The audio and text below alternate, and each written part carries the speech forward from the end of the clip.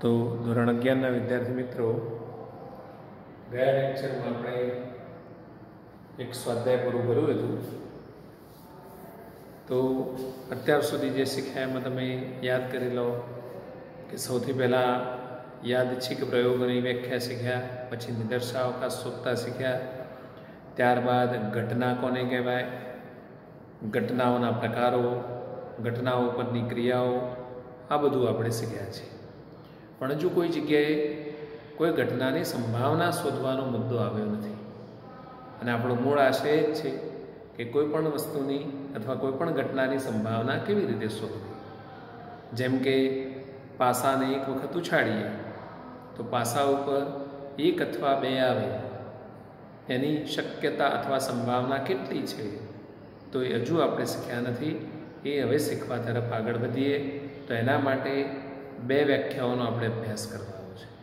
એમાં સૌથી પહેલી એક વ્યાખ્યા છે, સંભાવનાની પૂર્વધારણાયુક્ત વ્યાખ્યા. પૂર્વધારણાયુક્ત વ્યાખ્યા એટલે આયોડિન યુક્ત મીઠું. તો એનો શું અર્થ કરો છો? તેમાં આયોડિન હોય. તો પૂર્વધારણાયુક્ત વ્યાખ્યા એનો મતલબ શું કરીશું? એમાં પૂર્વધારણાઓ હોય. આપણે એક એવી વ્યાખ્યા જોવાના છીએ કે જેમાં ત્રણ પૂર્વધારણાઓ તો ચાલો એ વ્યાખ્યા જોઈએ અને પછી આપણે સમજીએ કે એનો કેવા સંજોગોમાં ઉપયોગ થઈ શકે. ચાલો તો મિત્રો, સંભાવનાની પૂર્વધારણા વ્યાખ્યા. મેં અહીંયા લખી છે, હવે હું સમજાવું છું. સમજી અને પછી તમે વીડિયો પોસ્ટ કરીને લખી દો. ધારો કે એસ એ કોઈ યાદચ્છિક પ્રયોગનો નિદર્શાવકાશ છે. તમે શબ્દોથી પરિચિત છો, યાદચ્છિક પ્રયોગ નિદર્શાવકાશ કોને કહેવાય? અને હવે જોઈએ. જેનો પ્રદેશ એસનો ઘાત ગણ એક વિધેયની વાત કરવાની છે. વિધેય માટે પ્રદેશનો સહપ્રદેશ જોઈએ. તો જેનો પ્રદેશ એસનો ઘાત ગણ અને જેનો સપ્રદેશ સંવૃતંત્રા ઝીરો હોય. ખબર છે વિધેયમાં આપણે F is from R to R લખતા હતા એવી રીતે. તો આ એક વિધેય છે જેનું નામ આપણે હજુ નથી આપ્યું. સપ્રદેશ ઝીરો વન હોય તેવું વિધેય હવે નામ આપ્યું, જુઓ પી છે. તો પીનો પ્રદેશ એસનો ઘાત ગણ છે અને સપ્રદેશ સંવૃતંત્રાલ ઝીરો હમણાં હું અહીંયા ઉદાહરણ બનાવું છું. ચિંતા ન કરે જે નીચેની ત્રણ પૂર્વધારણાઓનું પાલન કરે છે. કેવી? તો કોઈ પણ ઘટના ઈ માટે p of e greater than equal to 0 p of s equal to 1 ત્રીજું, પરસ્પર નિવારક ઘટનાઓ e તથા f માટે p ઓફ e યોગ f બરાબર p pf યોગનું વત્તા થઈ જતું હોય. આ ત્રણ પૂર્વધારણાઓ બનાવે છે. આ ત્રણ પૂર્વધારણાઓનું પાલન કરતું જે વિધેય પી છે પીને સંભાવના વિધેય કહેવામાં આવે છે. સંભાવના પણ એક પ્રકારનું વિધેય છે. તેમજ પી ઓફ ઈ ને ઈની સંભાવના કહે છે. પીઈ એટલે ઈનું જે પ્રતિબિંબ મળે એને એની સંભાવના કહેવામાં આવે છે. હવે હું ઉદાહરણ લઉં ત્યારે તમને પરફેક્ટ ખબર પડશે. માનો કે એક પ્રયોગ છે સિક્કાને એક વખત ઉછાળો તો એનો નિદર્શાવકાશ થાય એચ હવે એનો ઘાત ગણ. હવે એમ અહીં પ્રોબ્લેમ શું થયો છે? ઘાત ગણ માટે આપણે પીનો નો ઉપયોગ કરતા હતા. પી અને પછી ગણ લખી દેવાનો. અને સંભાવના વિધેય માટે પણ p નો ઉપયોગ કરવાનો છે. એટલે આપણે ઘાત ગણવાને પછી આવું નહીં ઘાત ગણને બોલીશું ખાલી ઘાત તો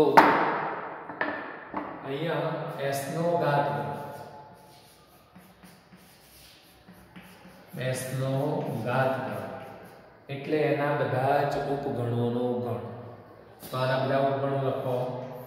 I h ટી અને એચ અને એને ગણમાં મૂકી દો. તો શું થઈ ગયો? એસ નો ઘન એ તમારે પ્રદેશ તરીકે લેવાનો. ત્યારે જુઓ. પી એક વિધેય છે. એનો પ્રદેશ? આઈ એચ ટી અને એચ ટી એટલે એસ સામે સા પ્રદેશ છે, એને કીધું છે. સૌર તંત્રાલ જીરો આ રીતનું વિધેય છે. બરાબર? સૌર તંત્રાલ જીરો વનમાં તમને ખબર છે કઈ સંખ્યાઓ આવે?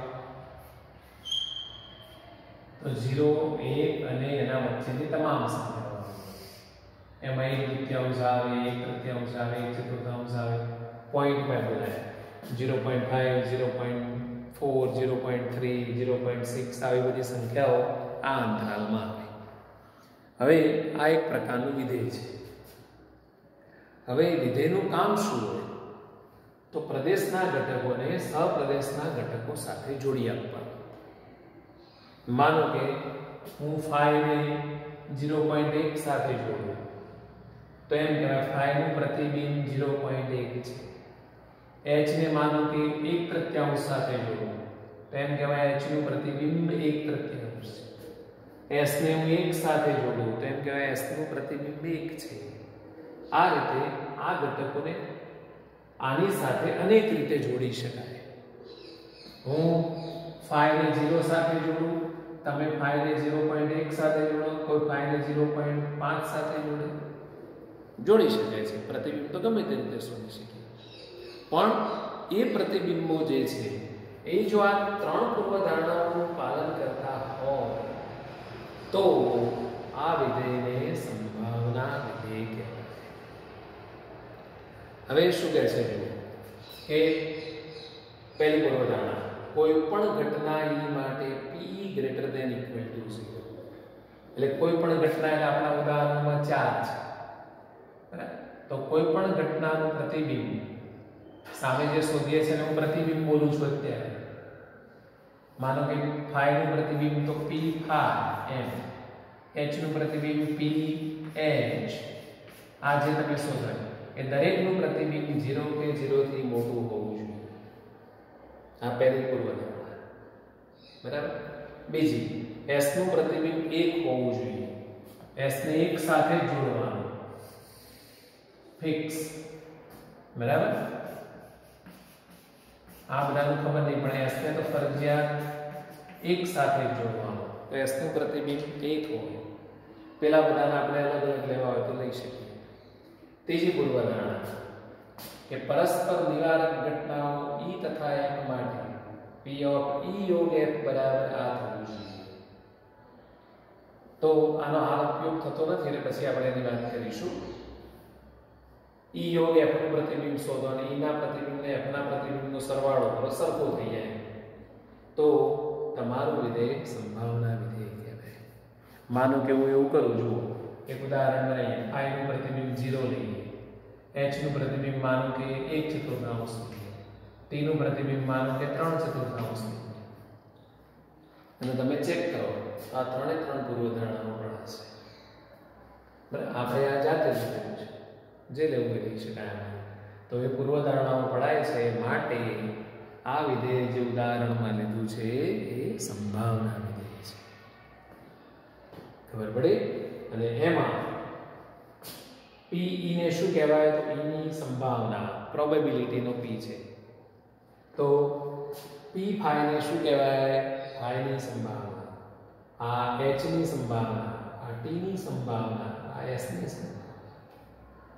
તો જો આ ત્રણ પૂર્વધારણાઓનું પાલન થાય, તો મેં જે આ સંભાવના લખી છે એ આ ફાળવણી જે મેં કરી છે એ સાચી છે. આ સંભાવના વિધેય બની છે તો આ રીતે આ સંભાવનાની પૂર્વધારણાયુક્ત વ્યાખ્યા છે. હવે તમને એવું લાગતું હશે કે સાહેબ તમે એવું કીધું કે એચની સંભાવના એક ચતુર્થાંશ એ તો તમે આશરે લખી દીધી મારે એક ચતુર્થાંશ ના લખવી હોય અને હું એક ષષ્ઠમાંશ લખું અને પાંચ ષષ્ઠમાંશ લખું. તો ના ચાલે? ના ચાલે? કેમ ના ચાલે? ઘણી બધી શક્યતાઓ લખી શકો એટલે હવે પ્રશ્ન થયો કે તો પછી સિક્કાને ઉછાળીએ તો એચ આવવાની સંભાવના કઈ સાચી? આ સિક્કાને ઉછાળવાની ઘટના જ છે.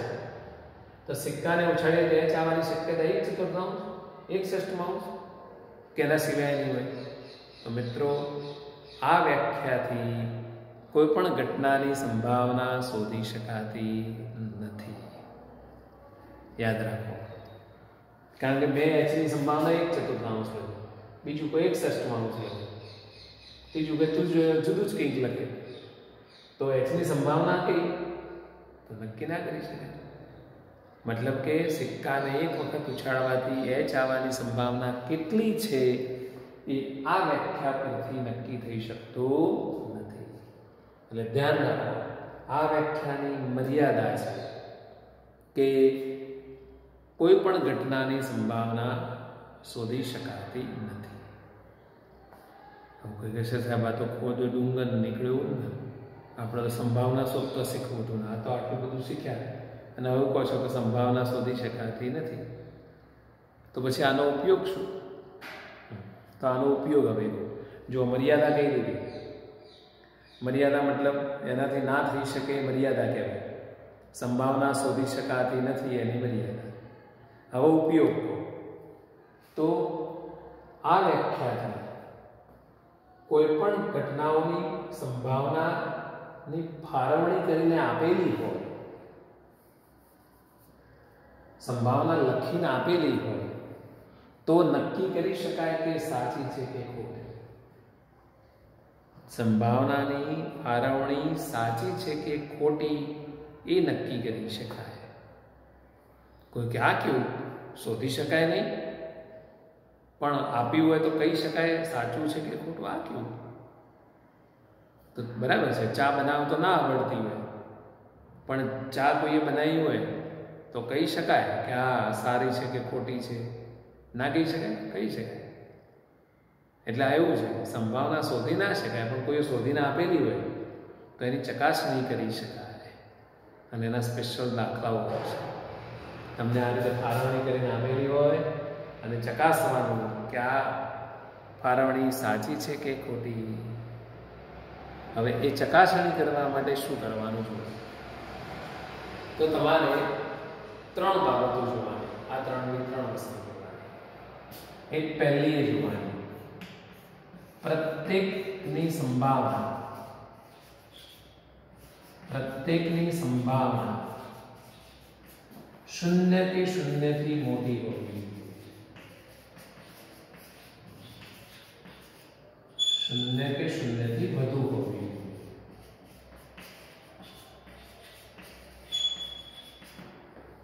ચલો બધા છે ઓકે કમ્પ્લીટ પછી બીજું નંબર બે પીએસ એસ એટલે ચોક્કસ ઘટના ચોક્કસ ઘટનાની સંભાવના એક હોવી ચોક્કસ ઘટનાની સંભાવના એક હોવી જોઈએ એ આપણે જોઈએ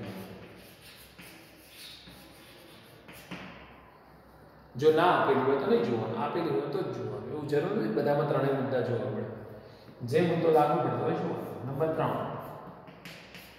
આ અગત્યનો છે. આના પરથી તમારે આ વસ્તુ ચેક કરવાની. પરસ્પર નિવારક અને નિશેષ ઘટનાઓની સંભાવનાનો સરવાળો.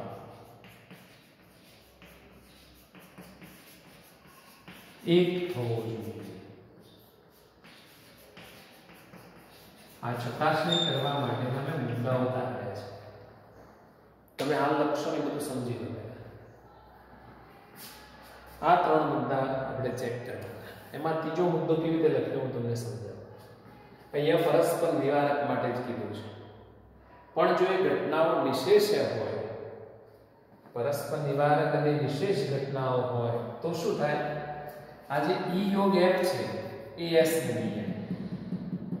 એ શું બની જાય? એસ એટલે પીએસ થઈ જાય પીએસ બરાબર 1 થઈ એટલે જો ઈ અને એફ નિવારક અને નિશેષ હોય, તો એમની સંભાવનાનો સરવાળો એક એટલે દાખલામાં બે ઘટનાઓ કે બેથી વધારે હોય પરસ્પર નિવારક અને નિશેષ હોય, એમની સંભાવનાનો સરવાળો એક થવો જોઈએ.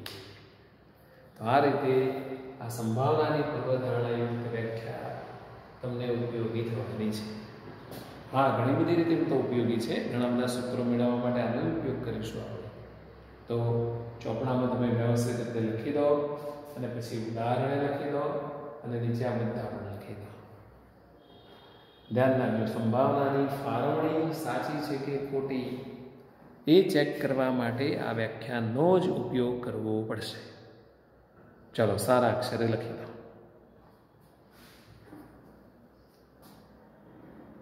વીડિયો પોસ્ટ કરીને લખવાનું છે.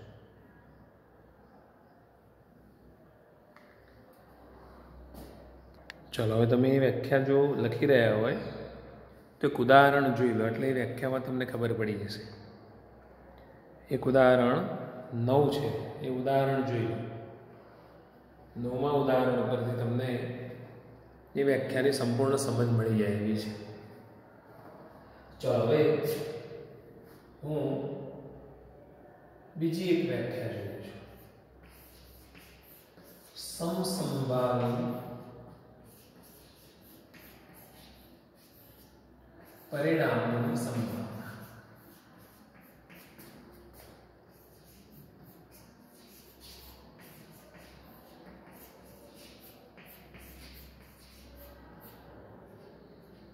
આ સંભાવનાની બીજી વ્યાખ્યા છે ધ્યાન રાખજો. તો એ વ્યાખ્યા હું લખું છું, પછી તમને સમજાવું છું. ચાલો, તો આ વ્યાખ્યા શું કહે છે સમજી તમે પછી લખજો. ધારો કે એક યાદચ્છિક પ્રયોગનો શાંત નિદર્શાવકાશ શાંત એટલે એની સભ્ય સંખ્યા ગણી શકાય એવી હોય. એસ બરાબર omega one, omega two, up to up to, omega n છે. એમાં એન પરિણામો છે નિદર્શાવકાશ તેમજ પ્રયોગના બધા જ પરિણામો સમસંભાવી છે. એટલે પ્રયોગનું પ્રત્યેક પરિણામ આવવાની સંભાવના સરખી છે. સમસંભાવી એટલે સમાન સંભાવના ધરાવે છે. જેમ કે સિક્કાને એક વખત ઉછાળો, તો સિક્કો ઉછાળવાથી એચ આવવાની જેટલી સંભાવના છે, એટલી જ ટી આવવાની સંભાવના છે. એ સમસંભાવી પરિણામો કહેવાય. બરાબર? તો આ એક પ્રયોગના સમસંભાવી પરિણામો છે. હવે કોઈ એક ઘટના ઈ લીધી મેં. ઘટના એટલે નિદર્શન અવકાશનો ઉપગણ omega one, omega two up to up to omega એમ આમાંથી લીધેલા પરિણામો છે. બરાબર? એટલે એમની કિંમત એનથી વધારે ના હોય.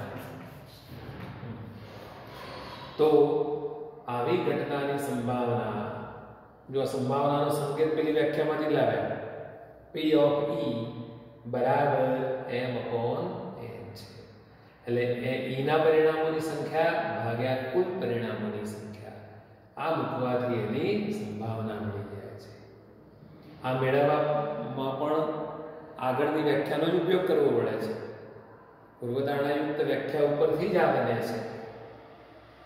તો સંભાવના શોધવા માટે આપણે આ સૂત્રનો જ ઉપયોગ કરવાના છીએ અહીંયા એવું પણ લખાય, એને અનુકૂળ પરિણામોની સંખ્યા, ભાગ્યા કુલ શક્ય પરિણામોની સંખ્યા. તો કોઈ પણ ઘટનાની સંભાવના શોધવી હોય તો આ સૂત્રનો ઉપયોગ કરવાનો છે. ચલો, તમે લખો એ પહેલા એક તમને ઉદાહરણ આપી. માનો કે પાસાને એક વખત ઉછાળીએ છીએ. તો એનું નિદર્શાવ શું થવાનો? એક થી છ હવે કોઈ એવું પૂછે કે પાસાને ઉછાળવાથી યુગ્મ પૂર્ણાંક આવે એની સંભાવના શું? બરાબર? ઈ બરાબર એક, બે, ત્રણ, ચાર, પાંચ, છ. હવે કોઈ એવું કે યુગ્મ પૂર્ણાંક આવે એની સંભાવના શોધો તો યુગ્મ પૂર્ણાંક આમાં કયા કયા છે? બે, ચાર, છ. તો આ ઘટનાની સંભાવના શોધો તો આમાં આવતા ઘટકોની સંખ્યા ભાગ્યા કુલ ઘટકોની સંખ્યા.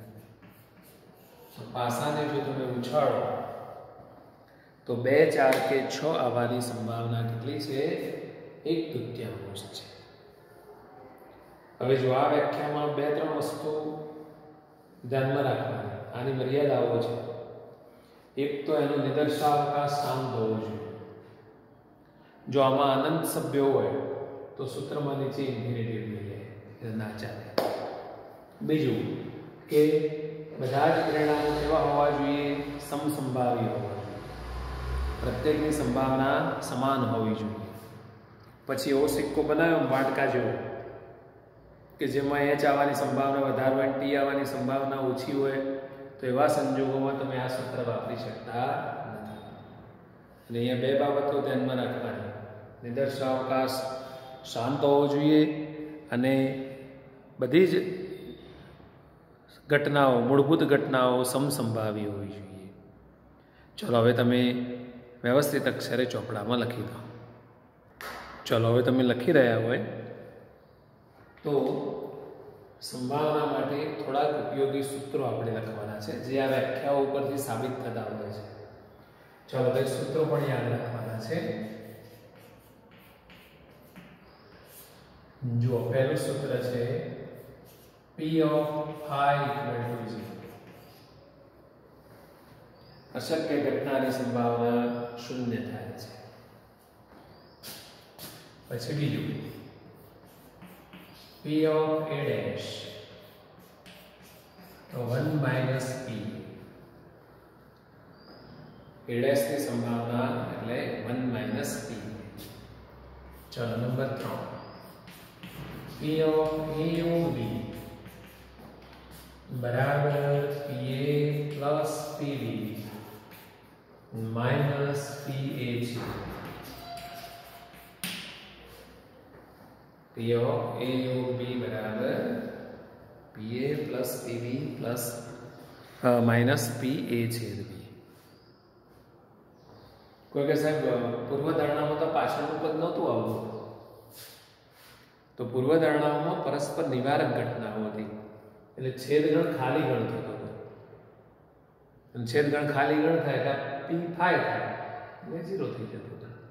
જ્યારે આ જે નિયમ છે એ દરેક ઘટનાને લાગુ પડે. નિવારક હોય તો એ, ના હોય તો એ. ચલો, પછી આવો નિયમ ત્રણ ઘટનાઓ માટે પણ આવશે પીઓ પીઓ બીઓ તો એ પણ લખી દઈએ. બારમા ધોરણમાં એની જરૂર પડે. PA plus PB plus PC minus PA છે B માઇનસ PB છે C માઇનસ PA છેદ C પ્લસ PA છેદ B છેદ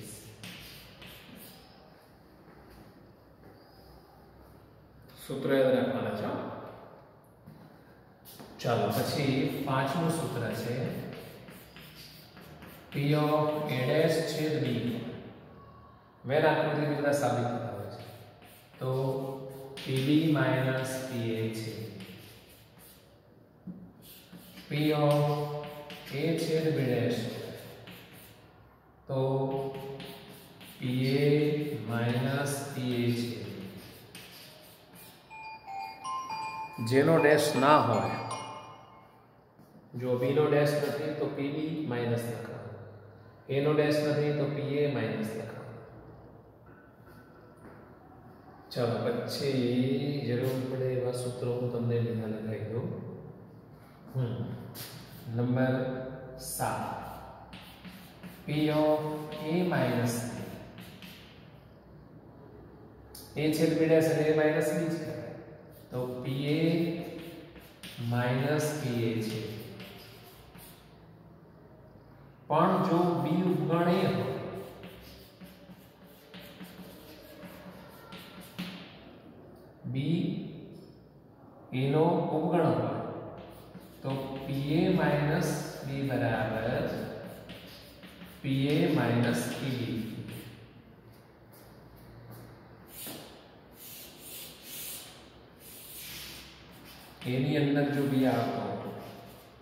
તો શું થાય? જે છેદ બી છે, એની કિંમત બી થઈ જાય. એટલે આરોગ્ય બી તો આ રીતે આ સૂત્રમાં ધ્યાન રાખજો. પી એ માઇનસ બી બરાબર આવું લખાય અને બી એનો ઉપગણ હોય તો આવું પણ લખાય. પાછળની ઘટના, આગળની ઘટનાનો ઉપગણ હોય તો પી એ માઇનસ પી બી લખાય. અને ઉપગણ છે કે નહીં એવી ખબર ના હોય આ સૂત્રો બારમા ધોરણમાં પણ બહુ કામ લાગવાના છે. બરાબર? હવે આ ચેપ્ટરમાં તમામ સૂત્રો પૂરા થઈ ગયા. માત્ર અને માત્ર સ્વાધ્યાય અને ઉદાહરણોના દાખલા કરવાના થાય છે. તો તમે આટલે સુધીના સૂત્રો, વ્યાખ્યાઓ બધું વ્યવસ્થિત સમજી લો. એકવાર ઉદાહરણો ગણી લો. પછી આપણે આગળના દાખલાઓ આવતા લેક્ચરમાં જોવાના છે. સૂત્રો કડકડાટ કરી દેવાના છે. સવાર, બપોર, સાંજ જમ્યા પછી એક એક વાર બોલી જવાના.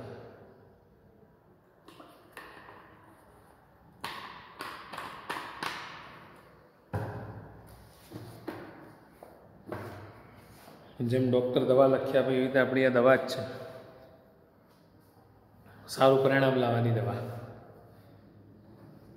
નિયમિત રહેવું પડે છે.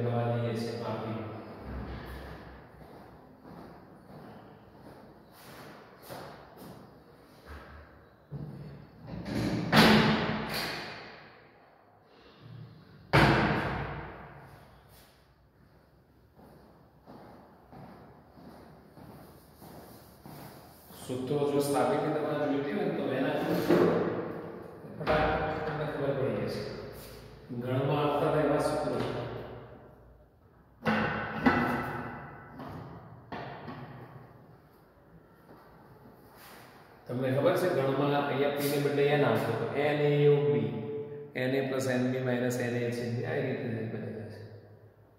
બરાબર? આ રીતે તમે મસ્ત મજાનું લિસ્ટ બનાવી દેજો. ચોપડામાં એવી રીતે લખજો કે બારમા ધોરણમાં જરૂર પડે કે ચોપડો મળે વસ્તીમાં જતો ના રહે પછી.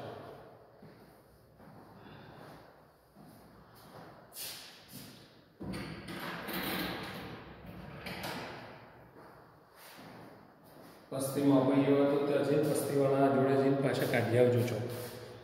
કપડાની જરૂર બારમાં પડવાની છે. ઓકે? ચાલો, લખાઈ ગયું તો બધો હવે હું વીડિયો સ્ટોપ કરું છું. Have a nice day wish you all the best